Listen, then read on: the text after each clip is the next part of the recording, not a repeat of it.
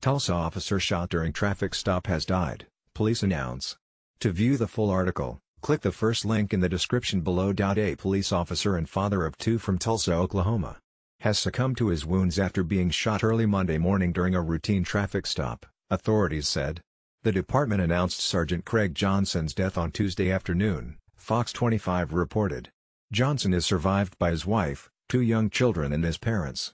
He also leaves behind a bunch of brothers and sisters, Tulsa Police Chief Wendell Franklin said, referring to Johnson's fellow officers. Officer Aurash Zarkeshan, who was also shot during the incident, had reportedly been out on patrol for less than six weeks. His wounds have not become fatal. Police arrested the suspect and identified him as David Anthony Ware, 32.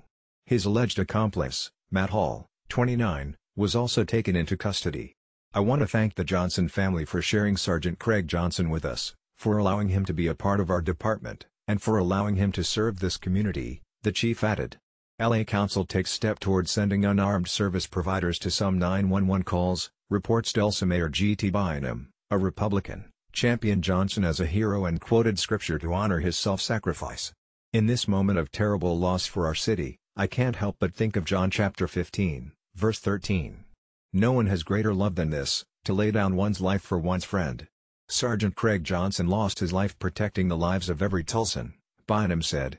Republican Governor Kevin Stitt released a statement following Johnson's passing according to Fox 25 and said, my heart breaks for the family of Sergeant Craig Johnson and his fellow officers with the Tulsa Police Department. I ask Oklahomans to join the First Lady and me in continuing to pray for his family as well as for his fellow officers. My hope is that Sergeant Johnson is forever remembered for the heroism, courage and bravery he displayed while protecting Tulsa for 15 years, he continued. We will also continue to pray.